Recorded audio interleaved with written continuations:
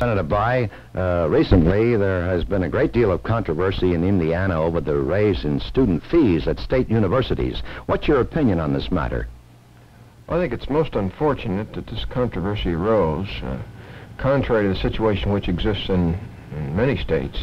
It seems to me the problem here is whether we want top quality education, whether we want academic freedom or not, and whether we're willing to invest the necessary resources to accomplish these goals.